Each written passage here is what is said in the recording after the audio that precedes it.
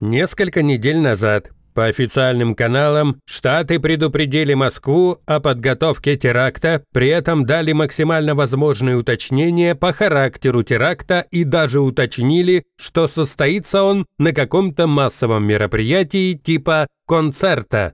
Мало того, своим гражданам и персоналу посольства США строго запретили посещать подобные мероприятия, а вероятность события американцы квалифицировали как неизбежную.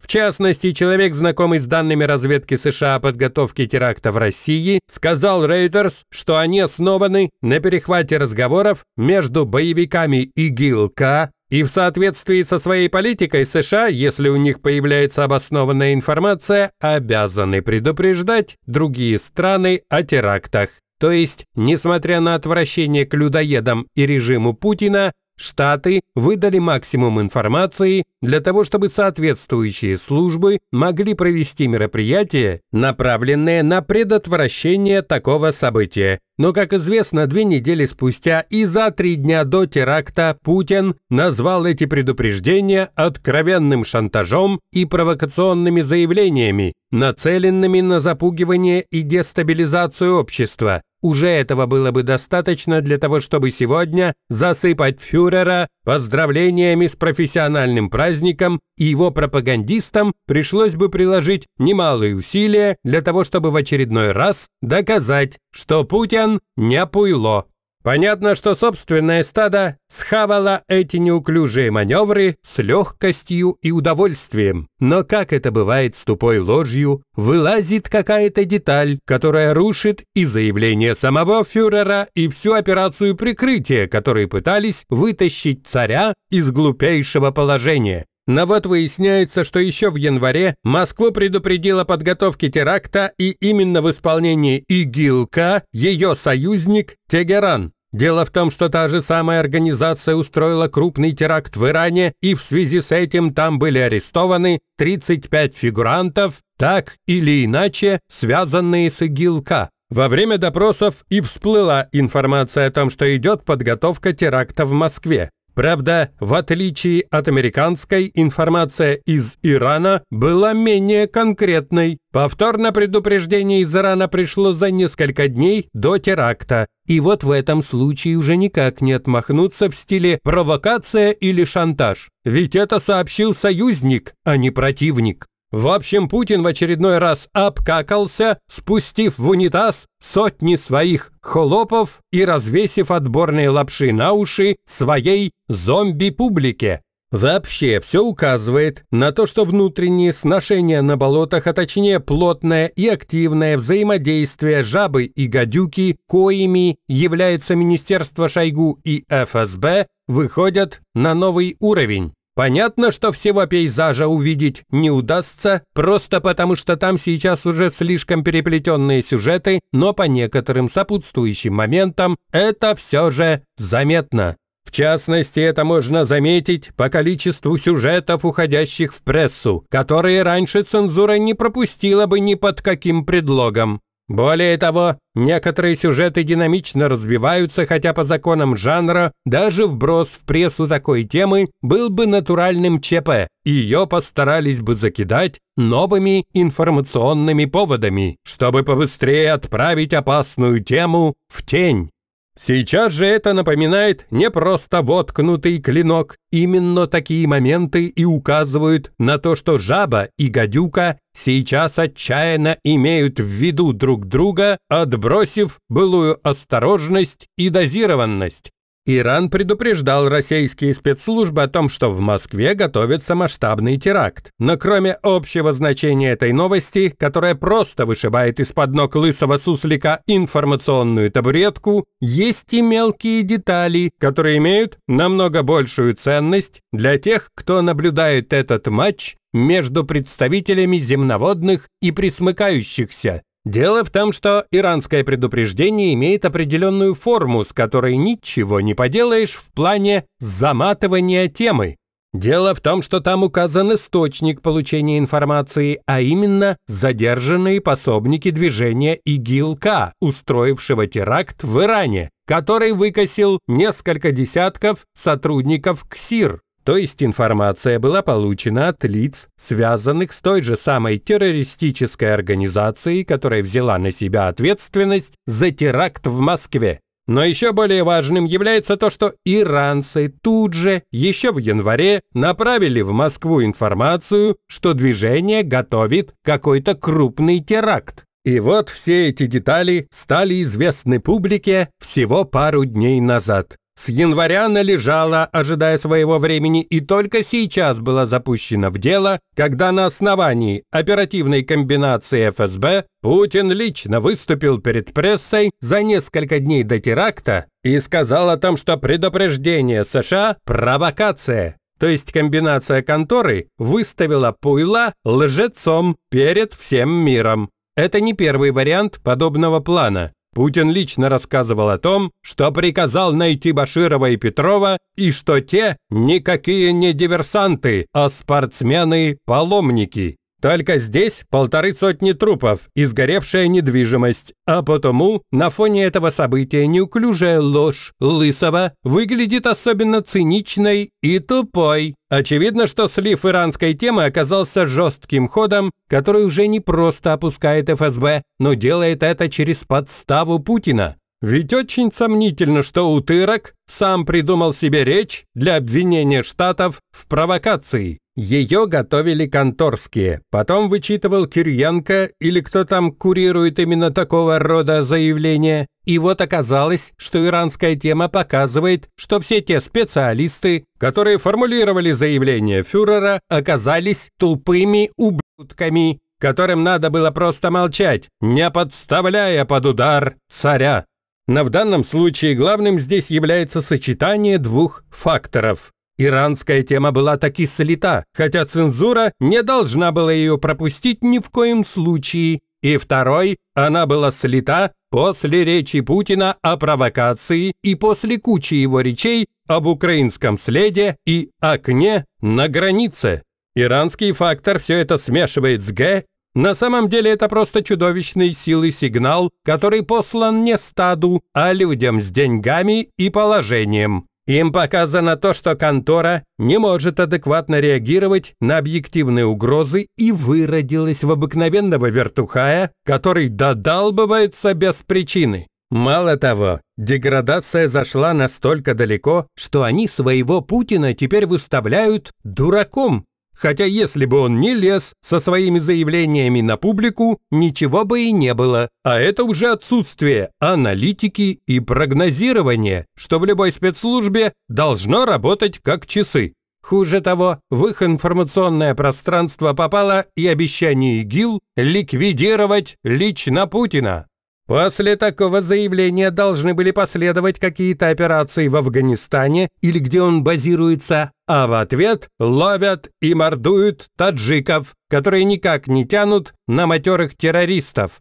Вся эта конструкция просто обязана была качнуть маятник в другую сторону, и конторские должны были навалить Г на ведомство Шойгу. И ответ оказался примерно такого же плана. В прессу пошло то, что раньше было бы перехвачено еще на дальних подступах и забито цензурой до состояния полной тишины. Мы специально не комментировали это событие, произошедшее еще в субботу, дожидаясь момента, когда и если это попадет именно в их СМИ. И вот вчера оно попало, минуя плотные фильтры конторской цензуры. Речь идет о самой крупной за время широкомасштабного вторжения механизированной атаке на фронте. В общем, если не погружаться в их рассуждения, а просто взять текст, которым они описывают это событие, то и этого уже достаточно для понимания того, как были намеренно отключены цензурные фильтры.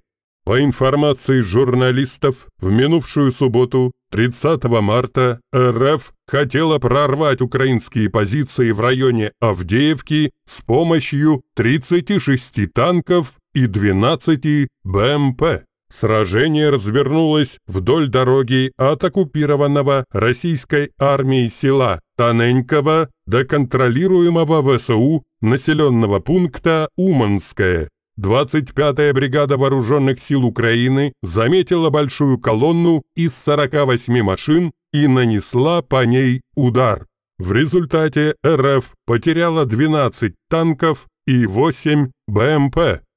Раша Благосфера просто визжит от этого вопиющего факта, а на их фуражке несутся килотонны помета. Кстати, большая часть наших обозревателей включилась в эту волну и выступила в той же тональности, мол, ничему не научились и двигались колонной, которую ВСУ разобрали более чем на треть. На самом же деле все это выглядит несколько иначе и, скорее всего, имеет прямое отношение к описываемому сюжету. Дело в том, что важным было само принятие решения об атаке таким количеством брони. Такие решения не принимаются на ровном месте, и командование рашистских выродков имело конкретное представление о том, что именно эта бронегруппа должна была сделать на данном конкретном участке фронта. Согласимся, даже собрать столько брони в одном месте в современных боевых условиях – очень рисковое дело. И если такое решение было принято, то это говорит о том, что враг имел на то все основания, в первую очередь данные разведки, а само наступление готовилось не один день.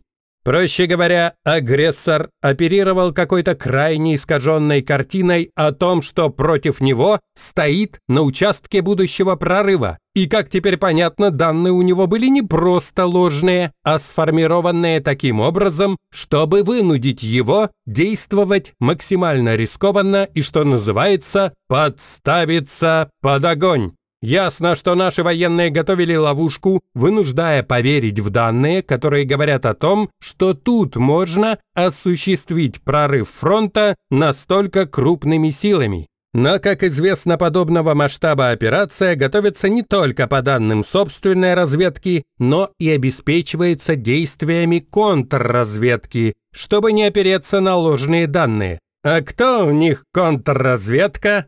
Правильно, в данном случае она либо показала свой низкий профессионализм, либо просто умыла руки, чтобы сапоги наломали дров собственными силами, и они их наломали. То, что мы наблюдали на многочисленных видео, вряд ли можно назвать атакой колонной. Скорее всего, противник двигался к рубежу атаки, который находился дальше и до которого он так и не дошел. А пока он не развернулся в атакующие порядки и движется к месту, где он это планировал делать, он и будет идти колонной. Другое дело, какая плотность колонны будет в данном случае, но если он планировал сработать на скорости, то колонна будет плотной и двигаться будет быстро, след в след, что и наблюдалось на самом деле. То есть, когда конторские и многие наши говорят о том, что лапти ничему не учатся и тупо бычатся колонной, скорее всего, это ни о чем. И более того, такая подача информации оставляет за бортом явно большую работу ВСУ, которые тщательно готовили грандиозную ловушку. А это несправедливо по отношению к нашим военным. Ведь, как показал дальнейший ход событий, мрази получили комбинированное поражение минированием, противотанковыми средствами, дронами и артиллерией. То есть их ждали в это время и в этом месте, а то, как они двигались, говорит о том, что дорога считалась разведанной и безопасной, так как по ней двигались все уверенно и быстро. И раз там оказались мины, то это означает, что поставили их прямо накануне наступления, что в условиях плотной работы дронов можно считать отдельным подвигом. В общем, колонна попала под раздачу не в момент, когда она развернулась в атакующие порядки, а на марше, во время движения по безопасному маршруту. Тут вообще вряд ли можно говорить о том, что враг ничему не учится, даже наоборот. Если он все же смог отвести оттуда чуть более половины своей техники, говорит об обратном. Если бы он замешкался, то вся колонна оказалась бы сожженной.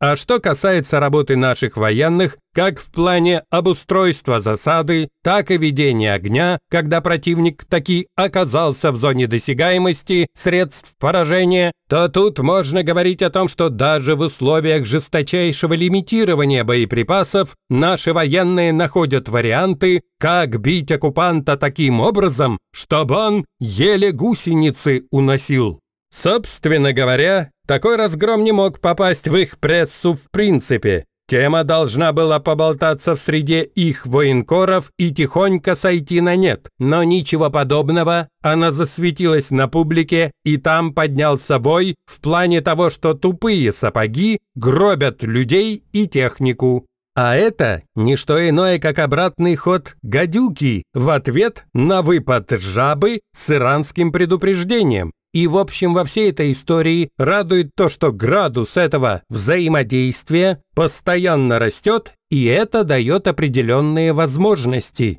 Но вернемся к танковому разгрому. Противник решил устроить что-то вроде недокормленной Курской дуги и бросил в прорыв почти 50 бронированных машин, причем из них более трех десятков танков Т-90. В связи с этим вспоминаются слова Путина, который об этом танке сказал, что он лучший в мире и что только он выходит на позицию «вся».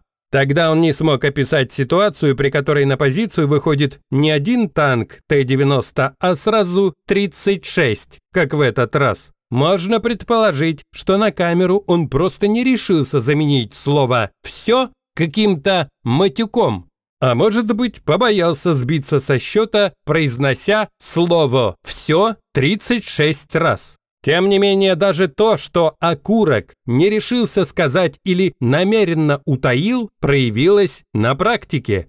Как известно, наши военные размотали бронегруппу, так что эта самая Курская дуга может получить свое собственное имя «Тоненькая дуга» по имени населенного пункта, у которого все и произошло. В общем, как справедливо утверждал Путин, 12 из 36 танков Т-90 вышли на позицию и все. Причем не просто все, а на совсем все. Правда, 24 танка справедливо решили, что не все пропало. На полной скорости они ломанулись обратно, между прочим, весело проезжая по своей пехоте, которая высыпала оглушенная из 12 подбитых БМП. Танки в бодром стиле проехались по своим штурмовикам, скрывшись в дыму и пыли.